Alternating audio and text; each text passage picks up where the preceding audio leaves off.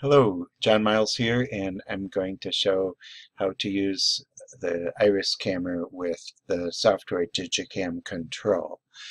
And to start with, um, I've done this a couple of times here. This hopefully will go okay. Um, the previous time I did this, um, I just want to show what ended up, there's this folder Digicam control, and I named the session by the name of this folder, and it created the folder, and as you can see, it has um, put, it has saved all the pictures I took with the session name, the date, and the time, and a sequence number. So now what I'm going to do is set that aside for just a minute this is what the software looks like once you start it, the screen here. And then what I do, I like to start the software first, but I have this here and I'm going to change the angle of the camera.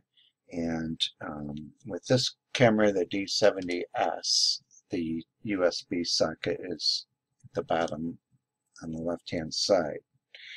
And I usually use an extension cord, but I have a, a, a plug for it here. You can see the uh, connector type. And the wider end goes at the top, and it goes in like this. And now, once I turn it on, the computer will recognize it. So I gonna turn this on. There, it's on. And you can see the setup. And now sometimes the uh, older cameras are not automatically recognized, like in this case. And so to uh, start, you have to go to camera and refresh camera list. then it'll find it and it shows a little picture of what it looks like and all the settings are here and these are some of the pictures I recently took with this camera. So now what I'm going to do is um, just go ahead. Oh, um, about the session, yeah, this is the most important part right here, um, which I will uh, explain right now. What happens is you go, um, there should be another screen, you go to the session and, well, we're in a current session. Let's see what the current session is. All right. Oh yeah, it remembered. I already set this up. So what happens is um, I tell it what folder to use and um, I also give a name to the session D70S. Now normally you would put client name there like Joe Smith. And then when each uh, file name template shows how each picture is stored, it'll be that, whatever this is, and again, it's normally the client name, and I use first last, you can do last first, and then um, underscore, and then it'll show the date that picture was taken, and it'll also show the time. And to change it you click on this three dot icon and here you can see I clicked on session name and then uh, I clicked on the year date format this one um, which one? This one here that one. And then I put in the time as well so that was I don't care about seconds so it's right here and those are shown up here and it remembers it as long as you don't um, uh, close out the program.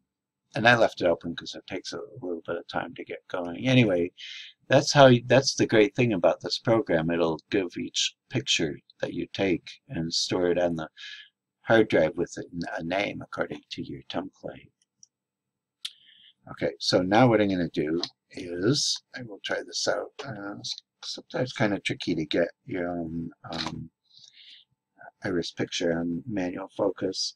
Also, uh, the, the camera is a little bit older and sometimes um, this picture taking button doesn't work and I have to use the space bar or click on um, the aperture icon at the upper left. But let's try this first. So I'm going to turn on the light and get in a good range here. Okay, so I take the picture. Now again, I think with this camera, even though it noticed the picture was taken, it zero megabytes per second. It doesn't actually like it, um, that method. So now I'm going to uh, right down here, and I put it there on the keyboard, that I'm going to take the picture just by uh, pushing the space bar. Just get to the right position. There. And then what happens is it will automatically bring the picture in, and that's not bad focus for guessing. And uh, then I can, you know, take a couple more if I want a slightly better focus, although that's about as good as I usually get. That was taken with pushing the camera button, and it'll probably show up uh, like this as an icon. I'll take one more, and this time I'm using the space bar. And uh, get that light right there. There's a trick to taking your own eye picture.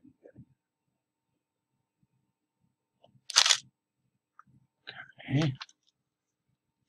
Now let's see how that one came out. See, that's better focus. And I just run the wheel to dial in to zoom, and then I can pan, uh, and you can choose other pictures. So the idea is you take a picture of each eye. Actually, I take about five or six of each eye because one of them will be better with less glare, more visibility, and good brightness. Um, now again it stored those pictures I just took in this folder which you can see right here um, and it gave it a name. These are the two I just took. See it says 1714 and 1715 so that's like uh, seven two hours ahead. It's 515 it was a quarter after seven your time the camera time. And that's how easy it is. And uh, yeah and also it, it, will create a folder if you um, don't name one to store them, and it'll be the session name. Now, there's one other thing to check out, and that is uh, the brightening of the picture. If it's not bright enough, like with the brown iris, sometimes you have to hit the exposure compensation, which is right here. There's a small um, button with a plus and a minus on it and you you use that to make it brighter or darker the plus or minus button. And the way you use it is you press that button and you uh, will see it says plus 2 here. And then you roll this uh, to the left will increase it to plus 3 okay here let me hold it down now. plus 3 kind of hard to see uh, Now on plus 4. Okay, so now if I take a picture, uh, it'll be a brighter. All right, so I'm going to come in here. Ah, sometimes the camera gets too tired. Uh, sometimes you can take it with this button. We'll hold that. There. That's the usual way from the computer. I don't know how good the focus, yeah, the focus wasn't very good, but you can see it's a bit brighter down here in the thumbnails. And so that's what you would do if you were doing a dark brown eye. However, um, for uh, for the blue iris, I would just use plus two or so. So I'm going to press that down. Now it's on plus four. And I'm going to roll this. There's um, 2.0 right now. Alright, so that's how you brighten a picture for prepare for a brown iris by ramping that up. So it's a two finger step. While you press this plus or minus button, you roll the thumb wheel. To the left will increase the number and to the right will decrease it. And I usually use plus 2.0. it'll go to plus 5 and negative 5. And I never use the negative numbers, just the plus numbers. And that's basically it. Um, you do have to remember to keep turning that off uh, when you're not using it. The battery will run down, but otherwise, this is how you uh, use the camera. And if you have a chin rest, you know, it's even easier to work with the monitor. And of course, when you're taking someone else's eye, you can get a perfect focus. But I do usually take about six pictures of each iris, and that's what I recommend. All right, um, this is the aperture icon up here in the upper left is the picture taking button. So for example, if I point it at something here, um, it'll take a picture once I um, click on that button and I just pointed it at a piece of paper. And uh, like I said, that also shows up in this folder over here. So with the same name of the camera and the date and time. So, so use it and hope that's useful. It's about 11 minutes.